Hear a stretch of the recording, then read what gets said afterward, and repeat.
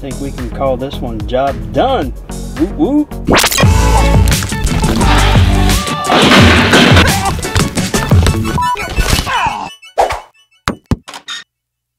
Right, welcome back party people. Ever wondered how uncomfortable it is sleeping in a bed that may be kind of tilted from side to side or even tilted from front to back?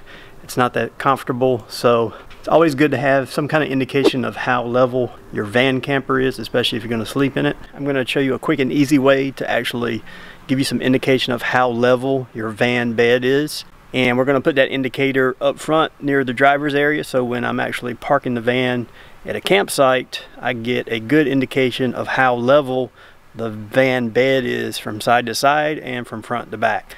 Now I don't need it to be 100% accurate so I'm just going to use a standard masonry level or standard bubble level across the bed and we'll do it two different ways but uh, we're just going to use these. You can grab these small bubble gauges at your local chain store or hardware store and uh, we're going to use two of these to indicate how well we're doing. The first thing you're going to want to do is try to choose a spot that's uh, easy to kind of train your eye on.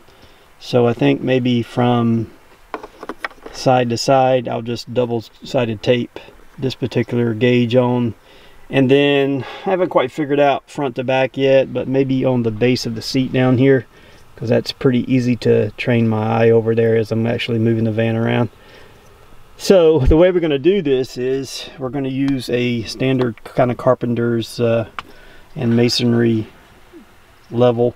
And once we get the uh, the bubble centered in the level in the back, then I'll just stick these on up front, get the bubble in the center, and that should give me some indication of how level the bed is in the back. Now it's not going to be 100% accurate, but it'll be close enough from what I need. And typically, you know, within a few degrees, you really can't tell much difference. But uh, all right, I'll show you what we have here. So I just have these. Uh, I have two two by threes cut, and I just have them wedged in between the bed here. One is just to kind of lift the level up, and the other is to kind of keep the level from falling back as I drive around. So our goal is to center this bubble up in the middle there, and once we have that centered then we can actually apply one of our bubble gauges here and get it centered and that should give us an indication up front about how level the bed is from side to side all right so the other thing I'll be riding around with is some isopropyl alcohol and a very very fine worn down super super worn down piece of emery paper that uh, I may use to roughen up any surfaces in order to get a good adhesion on the double-sided tape on the back of the bubble levels and just a cloth there to kind of wipe things down. Alright, let's give it a shot. We're going to be peeking back there. So the other thing I'm to do is use my iPhone here with the zoom on it. If you've got a good camera with a good zoom on it, you can just kind of point it back there and you can actually magnify the bubble on the level. That way you don't have to walk from front to back or front to back if you don't have somebody back there telling you um, where the bubble's at. So let's try that. All right, so now it's just kind of a matter of driving around and finding some level ground. So if we look at our bubble back there and get it centered up, um, you can use a couple of tools to help you out. If you don't have anybody back there, if you have a phone that has a good zoom on it, you can actually just point it back, take a picture, and then zoom in and see where it's at. Or you can also use your rear view mirror, and you can use a combination of your camera in the rear view mirror and zoom in on your camera and you can actually tell what's going on in the bubble back there. All right, so I think I'm gonna go here and I'm gonna clean this up with some isopropyl alcohol and then roughen it up just a little bit where the two-sided tape's gonna go. Isopropyl. I'm gonna give that just a minute to evaporate completely. And like I said, I'm just gonna rough up a very small piece and I'm just going to tear off a little small piece of this and this is basically like it's less abrasive than a Brillo pad at this moment just enough to kind of put some minor scratches on the surface so we've got very finely roughed up surface there and uh, I'm just going to peel this two-sided tape. This is 3M two-sided tape. I'm just going to peel it off center the bubble up and we should be good. A good press.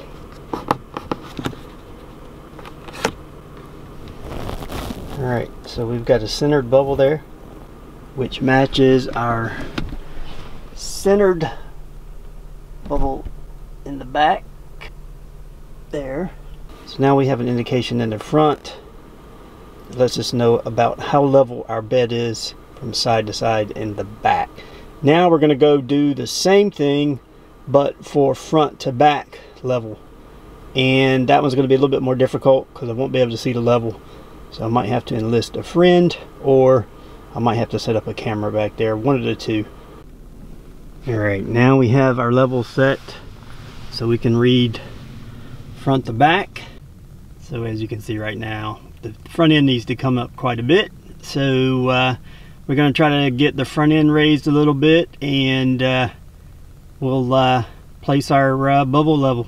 All right, I'm just kind of using this hill outside to do this. You can use your leveling blocks or ramps or whatever you want to make this easy on you. But uh, so here's currently where we're at on the back to front level. So we've got a bubble that is pretty much in the center there. And so what we'll do now is find us a place to stick our bubble level up front.